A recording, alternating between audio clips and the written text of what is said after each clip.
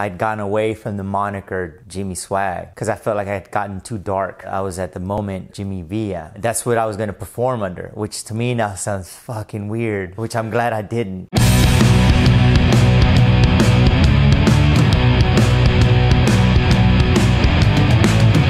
You've gone through a lot, a lot of different looks. You've gone through different names. What do names mean to you? How do you view that in terms of like who you are as a performer?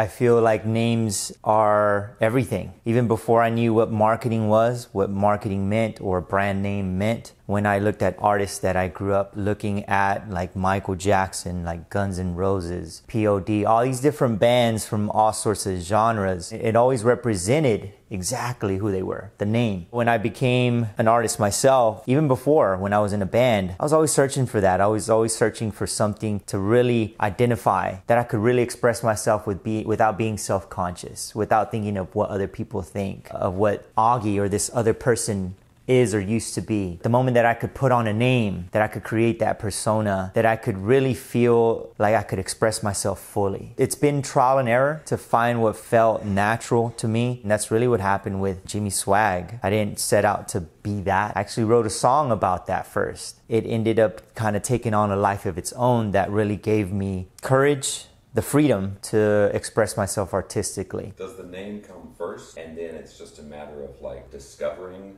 that name or is it like who you are comes first? I don't know how it is for anyone else. For me, I was searching for that name because I felt like there was something inside and a lot of insecurities. I was searching for a name that allowed me that freedom. I felt like I was forcing it a lot of times as well. It didn't feel right as I kept going along. I, I didn't start this journey off to be a solo artist. That name, it's like it was the key to my door to open and just to say, this is what I want to express myself artistically, singing wise, look wise, attitude wise. All of the things that I, I already had inside. With this name and this attitude, it truly was the key to open that door for me. So would you say you feel more natural now or more comfortable like than you did before? I definitely feel more natural three years later than when I first started this. I felt very egotistical. I felt very arrogant. It was a lot of internal fighting. Like, is this right? Am I being an asshole? There was a lot of internal conflict for a while. Eventually, where we're at today, I do feel peace about it. And realizing what that that name really is me. It is me. Jimmy Swagg is me. It, it, it is a part of me. Having that light bulb, light bulb moment of like, okay, I don't have to explain myself to anyone. I don't have to search anywhere else. This is me. So let me explore that side of myself more to just to be able to fully express myself with my music and artistically. It's been a process of that. So if we go back to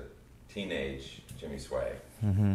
do you think he would be shocked and appalled at what you're doing now, or, or would it, or would it be like, yeah, that, that makes sense? I've thought about this question a lot. I would actually be excited, dumbfounded, shocked in a great way because all of these things that I feel like I'm manifesting within myself physically and musically and artistically are all things that since I was a kid I desired. Always wanted to be a rock star. I always wanted to be confident. I always wanted to captivate an audience. So that 15 year old would be losing his mind in excitement. I remind myself of that a lot these days because sometimes I think the the older we get, we can get jaded. There's a lot of heartbreaks, there's a lot of failures and there's a lot of it's not for the faint of heart as they say. You know, I have a lot of goals, I have a lot of things that I'm I'm working for. Currently where I'm at today, right now, that 15-year-old kid would be super excited.